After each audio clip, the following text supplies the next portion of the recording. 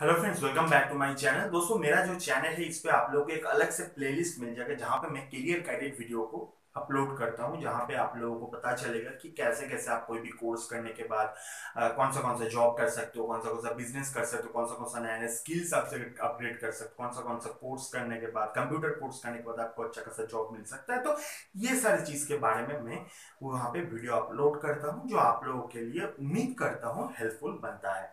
अब बात आ जाता है कि अभी के टाइम पे जो भी स्टूडेंट्स रहते हैं वो लोग सोचते हैं कि भाई हम लोग कोई भी बैचलर डिग्री कर लिए चाहे हम बीटेक करें चाहे हम बीसीए करें, चाहे बी करें, कोई भी चीज़ कर लिए but end of the day हम लोग जब मास्टर्स करने जाएँगे, तब हम लोग का फोकस रहेगा, हम लोग को एमबीए करना है, क्योंकि एमबीए करने के बाद ज़्यादातर जॉब मिल जाता है। तो इसी के बारे में बात करेंगे कि जो लोग सोचते हो कि एमबीए करने से ज़्यादा जॉब मिलता है, वो लोग सही सोचते हो या गलत सोचते तो वीडियो को आगे देखते रहिए। उम्मीद करते हो वीडियो आप लोगों के लिए बहुत ही ज़्यादा हेल्पफुल बनेगा। तो चलिए दोस्तों, आज का वीडियो स्टार्ट करते हैं। उससे पहले नमस्कार दोस्तों। मेरा नाम है सौमदीप नंदी टेकमेंट के न्यू वीडियो पर सभी का स्वागत है। दोस्तों, जो थिंकिंग हम लोगों के दिमाग में है कि एमबीए करने से जॉब मिलता है, पहली बात तो है ऐसा भी नहीं है कि एमबीए करने से जॉब नहीं मिलता है और ऐसा भी नहीं है कि एमबीए करने से ही जॉब मिलता है। देखो दोस्तों, बात क्या हो जाता है कि आप लोग जब एक बैचलर डिग्री करते हो, तब आप सोचते हो कि अब तो बैचलर डिग्री खत्म हो गया। चलो भाई एमबीए करते हैं, कोई भी एक कॉलेज से, कोई भी एक इंस्टीट्यूट से, कोई भी एक यूनिवर्सिटी से और तुरंत घुस जाते हैं हम लोग जॉब पे। ऐसा नहीं होता है। पहला बात जो होता है कि एमबीए एक ऐसा, अभी के टाइम पे एमबीए एक ऐसा कोर्स बन गया है कि सब कोई चाह रहा है एमबीए करने का। बट ये सुन के आप लोगों को हैरानी होगा कि सिर्फ़ सेवन परसेंट लोग जो होते हैं एमबीए करने के बाद उन लोगों को जॉब मिलता है। बाकी नाइन्टी थ्री परसेंट लोगों को जॉब नहीं मिलता है। इंडिया पे तो आप ऑलमोस्ट भूल जाओ कि एमबीए करने के बाद आपको तुरंत जॉब मिलने वाला है। मेरा एक सजेशन है कि दोस्तों, ऐसा ना करो कि बस एमबीए एमबीए एमबीए के पीछे मत भागो। बहुत सारे चीज़ें अभी के टाइम पे डिजिटल मार्केटिंग इतना बूमिंग मार्केट है।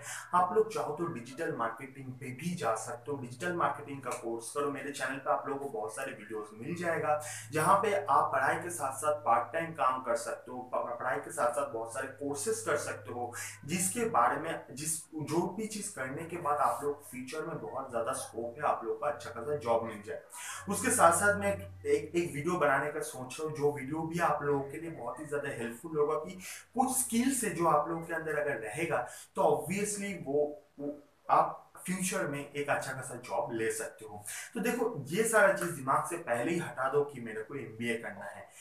बैचलर डिग्री करो, आप अगर बीटेक कर रहे हो एमटेक करो बीसीए कर रहे हो एमसीए करो, सिर्फ़ एमबीए पे फोकस मत करो क्योंकि सब कोई आप एमबीए पे ही फोकस कर रहा है।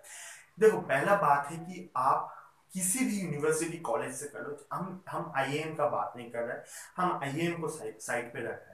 क्यों साइड पे रखा है कि जब आप एमबीए करते हो इंडिया के मार्केट पे, तब ये आप जब जॉब के लिए जाते हो, तब लोग पहले ये देखते हैं आप कौन से कॉलेज से या कौन से इंस्टीट्यूट से आपने एमबीए को कंप्लीट किए हो।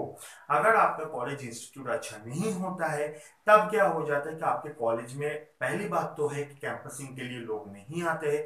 दूसरा बात है कि आपको छोड़ के जो बड़ा बड़ा कॉलेज रहता है, वो सारे कॉलेज का जो भी स्टूडेंट्स रहता है, उन लोगों को प्रेफरेंस ज़्यादा मिलता है। इसलिए इसलिए मेरा और एक सजेशन रहेगा, अगर आप लोगों को नहीं पसंद है कोई भी चीज़ करना बैचलर डिग्री के, बस सिर्फ़ एमबीए पे फोकस करना है तो मेरा सजेशन यही होगा कि टॉप 50 या टॉप 60 कॉलेज पे ट्राई करो टॉप 50 कॉलेज के अंदर या टॉप 50 इंस्टीट्यूट के अंदर।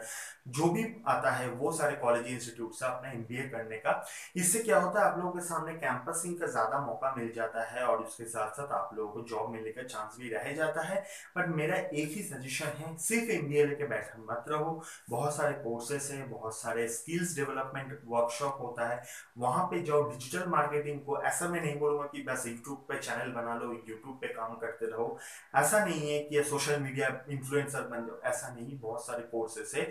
जो सीखने के बाद आप तो एक आपका तो एक जॉब मिल सकता है, उसके साथ साथ आप खुद का भी एक बिज़नेस को डेवलप कर सकते हो। आप फ्रीलांसिंग कर सकते हो, बहुत सारे फ्रीलांसर है, जो सिर्फ़ फ्रीलांसिंग करके अपना घर चलाते हैं। मतलब वही उसका प्राइमरी काम है प्राइमरी जॉब है। तो आप फ्रीलांसिंग स्टार्ट करो, उसके बाद आप आपका जो फ्रीलांसिंग है, उसको आप एक बिज़नेस पे भी कन्वर्ट कर सकते हो। तो मेरा यही सजेशन रहेगा एमबीए करना है तो टॉप फिफ्टी कॉलेजेस से एमबीए करो, वरना दूसरा कोई वे को ढूंढो, जहाँ से आप लोग शाइन कर सकते हो, आप लोगों को ज़्यादा मौका मिल सकता है। तो दोस्तों, यही था मेरा आज का वीडियो उम्मीद करते हो वीडियो आप लोगों को पसंद है अगर वीडियो पसंद है तो प्लीज़ वीडियो को लाइक कर देना। दोस्तों के साथ शेयर कर देना। चैनल पर ना तो चैनल को सब्सक्राइब करके बेल आइकन प्रेस कर देना। कोई भी क्वेश्चन है वीडियो के कमेंट सेक्शन पे नहीं तो स्क्रीन पे दिखा गया इंस्टाग्राम आईडी पे मेरे को पिन करके पूछ सकते हो। मिलते हैं नेक्स्ट वीडियो पे। तब तक के लिए बाय बाय टेक केयर अच्छे से रहना, ठीक से रहना।